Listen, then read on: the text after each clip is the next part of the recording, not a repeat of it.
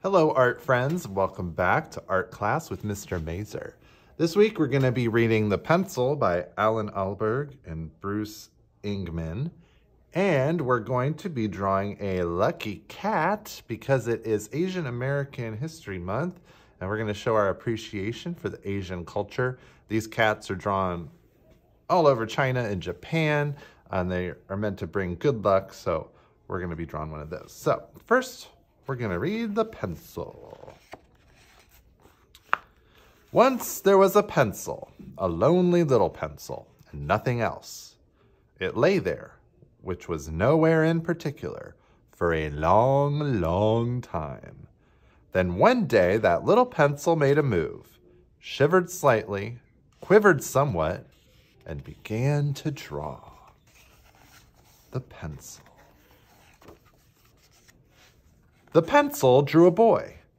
What's my name? said the boy. Er, Banjo, said the pencil. Good, said Banjo. Draw me a dog. The pencil drew a dog.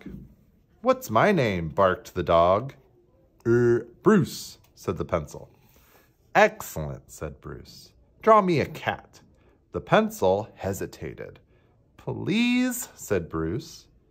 So then the pencil drew a cat named Mildred, and Bruce, of course, chased Mildred. And Banjo chased Bruce. Round and round the house, which the pencil drew, up and down the road, which the pencil drew, and in and out of the park, which the pencil drew. They ran around for a long, long time, getting hot and bothered, tired and grumpy, and hungry. Draw me an apple, said Banjo. Draw me a bone, barked Bruce. Draw me a mouse, meowed Mildred. No, said the pencil, no mouse. All right, cat food then, meowed Mildred. Only then. We can't eat this. Apple, yelled Banjo. Bone, barked Bruce. Cat food, meowed Mildred. It's black and white.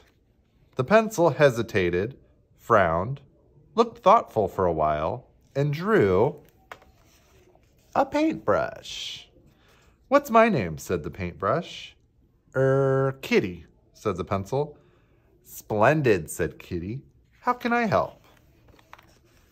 After that, Kitty painted the apple and the bone and the cat food. She painted Banjo and Bruce, but not Mildred. Mildred was a black and white cat anyway. She painted the house and the road and the park.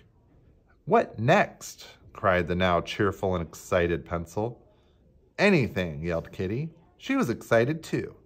You draw and I'll color it. So they did. Banjo got a little sister named Elsie, and a mom and dad named Mr. and Mrs., some grandmas and grandpas, three or four cousins, and an Uncle Charlie. Bruce got a friend, an Airedale named Polly, and a ball. What's my name? said the ball. Don't be silly, said the pencil. The ball made a sad face. All right then, Sebastian, said the pencil.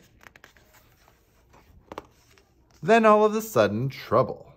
Banjo kicked Sebastian. Oh, into the air and broke a window. Polly ran off with Bruce's bone.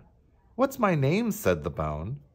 One of Mildred's kittens, which she had just asked for, got stuck up a tree, and everybody was grumpy and starting to complain. This hat looks silly, said Mrs. My ears are too big, said Mister. I shouldn't be smoking a pipe, said Grandpa. Get rid of these ridiculous sneakers, yelled Elsie. The pencil hesitated, frowned, looked worried for a while, quivered somewhat, and drew an eraser. After that, the eraser, as you might expect, rubbed things out, hats and ears and such. The pencil and the paintbrush drew and painted them again. Everybody was happy. Only then, more trouble. The eraser rubbed other things out. He was excited too. He rubbed the table out and the chair out, and the rug out, and the front door out, and the house out. He rubbed the tree out, and the kitten, who was still up it out, and the other kittens out, and the cousins, and the grandmas, and Uncle Charlie, out, out, out. He rubbed the road out, and the park out, and the sky out. He rubbed everything, even Kitty the paintbrush, out. Now, once more, there was only the pencil, that lonely little pencil, and nothing else. The eraser kept on coming. The pencil drew a wall to stop him. The eraser rubbed it out. He drew a cage to keep him in. The eraser rubbed it out. He drew a river and some mountains with lions and tigers and bears. Oh my! The eraser rubbed them out. Then, when all seemed lost and there was absolutely no escape, that brave and clever pencil quivered somewhat, shivered slightly, and drew another eraser. And what did these two erasers do? Their names were Ronald and Rodney, by the way. Yes, of course, as you will surely guess, they rubbed each other out. After that, of course, of course, the pencil drew Banjo and Bruce, Mildred, and the others all over again. And Kitty, he drew her as well, colored them in. He put the sun back in the sky, the house back on the road, the kitten back up the tree, the grass back in the park, and a picnic, a lovely brand new picnic out on the grass. The picnic lasted for a long, long time. Banjo played soccer with Sebastian. Oh, and his little cousins. Banjo's dad tried eating a boiled egg named Billy, but it ran off. A whole column of ants, what's our names, said the ants, came marching across the picnic cloth.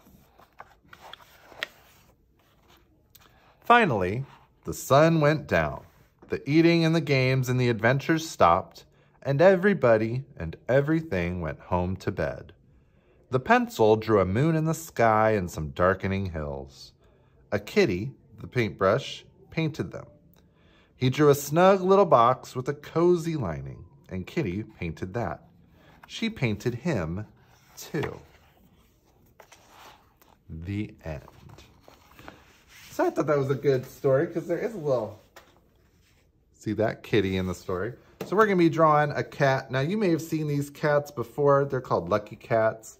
Um, and they're meant to bring good luck to households. They bring happiness and success to people. And they're also meant to bring wealth and prosperity to businesses. That's why a little kitty holds a coin. They're these little sculptures and they kind of wag their arm and wave at you. So we're going to be drawing one of these lucky cats in honor of Asian American History Month. So first thing we're going to do is start with our paper and a pencil we're to go to the middle of the page for our cat's nose. So we're to draw a nice U shape. Now to finish the nose, we're to close it off on the top, just like that. Now I'm to make my cat's mouth. So I'm to curve to the left, and then I'm to curve to the right to make my cat's little nose. Now for the eyes, I'm gonna do those on the sides. So we're gonna do two equal circles, one on this side and one on this side. Now the next step in the eyes, I'm gonna add a small circle to the upper right corner. That's gonna be the highlight. So you know when the light hits the eyes, they shine. So I'm gonna add that. Now, next thing I'm gonna do, we're gonna make that fun little paw that waves. So I'm going to go underneath my right eye and I'm going to draw a kind of upside down U shape just like that. And I'm going to close it off, but I'm going to leave a little bit of space. So leave a little gap in there. And then I'm going to make two curved lines. So, you know, cats have those little separations in their paws, so I'm going to make that.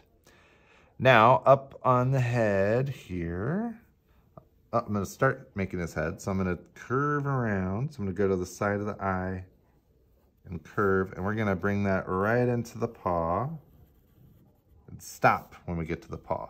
And then I'm gonna make an imaginary line through there and then curve it up to finish the head just like that. Now, for the top of the head, we're gonna make kind of an upside down U shape. So I'm gonna come up here and connect these two.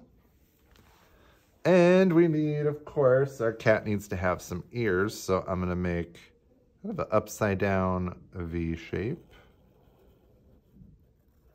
And bring it back down. And I'm gonna do that on the other side too. So I'm gonna go up, make a little soft point, bring it back down. And then we're gonna do the same thing again inside for the inside of the ear. So another upside down kind of V shape in there. Now, these lucky cats have a little lucky medallion collar that they wear, so we're gonna make that. So I'm gonna draw a circle right here. In that circle, I'm gonna make another tiny little circle in the middle and then draw one line down just like that. And now to make the collar that that Lucky Charm hangs on, I'm gonna curve a line in there. And I'm gonna curve it back and that's gonna end into the paw there, just like that. Now, the next thing I'm gonna do is draw my other cat's paw. So we got one over here.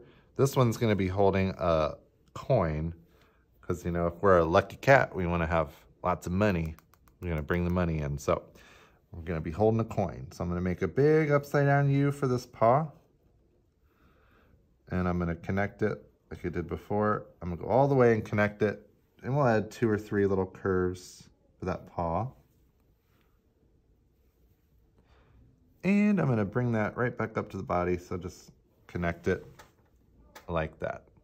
Now, our lucky cat's going to be holding a nice big gold coin to bring us wealth and prosperity. So I'm going to make a nice big circle. And it's going to go behind the paw, so it looks like he's holding that. Now, these cats also wear kind of like a little collar bib thing, so I'm going to draw that in. So I'm going to curve here, stop at the arm, and it's going to curve way down So I'll probably start about here and curve back up to that paw. And I'm to draw one of his back paws over here. So I'm to make a nice curve. Upside down U, kind of like a rainbow. And then connect it. Add those little paw lines again. And I'm just going to go in and connect here a nice curve for the bottom of our cat. And the arm I'm going to extend down into the body and back to that final leg. So now we have our finished, oh, I still got a couple things. Wait, cat's finished. We gotta, need to add a couple little details, right? So our cat wears a cute little hat kind of thing on his head. So we're gonna draw two U shapes on the head. That's that.